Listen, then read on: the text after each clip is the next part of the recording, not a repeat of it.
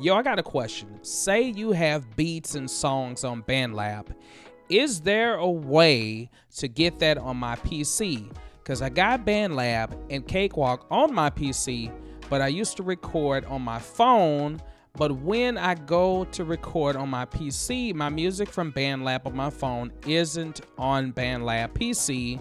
Not sure if or how I can get that stuff back. Now, let's get into this. Because I have here my phone and I have my project up that I just created. Now, let me tell you what might be happening. Shaun, this might be your problem is because I've done the same thing is that you might not have saved your project in BandLab Mobile and that's the reason why it's not showing up on the PC version because if you're logged into the same account, okay, so I'm logged into my email address. This is my JustDaNorm account, and I'm good to go. So if I log into that same account on my PC version, then I should see everything there. But if I'm logging under a different account, that might be one reason why you can't find it, or you are not saving it. Because when I originally started messing with this app, on the mobile version, I did not save the projects that I had, but I do have some projects that I did save. I've posted two videos on YouTube that deal with the BandLab mobile app just because, you know, I was playing around with it, but I never did save those projects. And when I went to go look earlier today, I was like, hmm, I don't see my projects either. So I'm wondering if I did not save it. So this is what's going to happen is normally you'll see a little door it's kind of like a door. I think of it a door, like you're exiting the door, and then once you exit, it takes you back to uh, wherever you might be. You might be on the home screen, you might be in the search, you might be in the uh, notifications, or you might be um, I kind of like a music folder, and then I can go and look at my projects.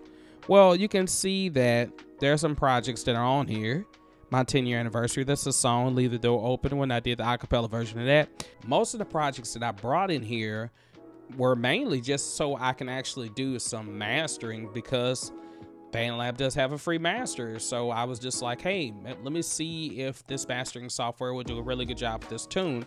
So that's why I brought it in. But most of the songs that I was just creating here just for fun, I never did save because I wasn't really taking them seriously. Now, I do have a new project that I started uh, April 28th and July 27th, and I think I was doing those on the actual desktop version of BandLab. Um, so I'm still playing around with it. But here is one that I did 45 minutes ago, and this is my new groove. Uh, if I was doing a new project, let's do new. All right, and then it opens up a new one and let's say I'm to do a virtual instrument. Let's do the grand piano. I click on it and let's say I want to record.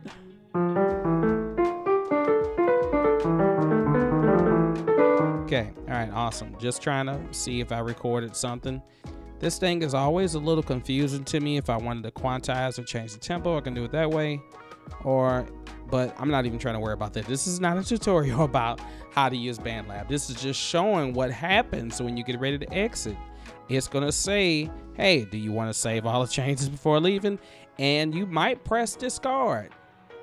So this is not like Google Suites where as soon as you start typing or, or creating a song, it just automatically saves everything. This is operating just like your typical DAW you have to make sure you save things. Now, Shaun, I'm not saying that you did not save it. I'm not saying that at all. I'm saying this might be one reason why you can't find it. Or, like I said, you might be under another account. But if you do have it and you see, oh, I've got the same project, like when I go back, uh, I'll discard that one because I'm not really too pleased with that one. But here's the project that I have. Okay, we love it, but I'm not trying to do this right now. All right, so here's my new groove, and it's just something I just created. Still not really doing anything fancy with it, just playing it.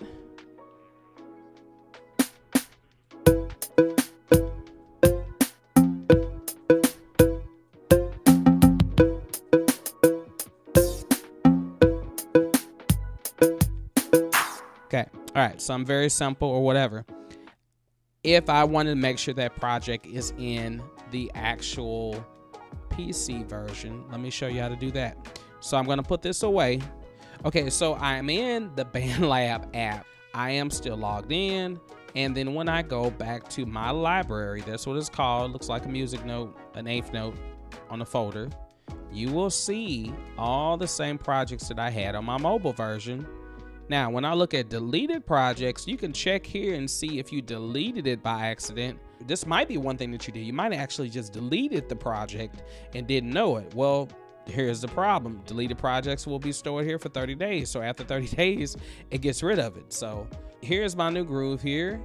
Uh, and I just clicked on it. And we can play it here. I can play the audio here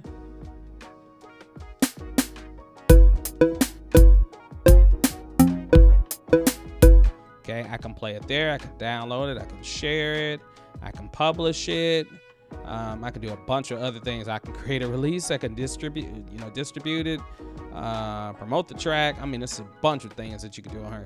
And, or I can go back to the studio and bring it up, and then do some more editing to it.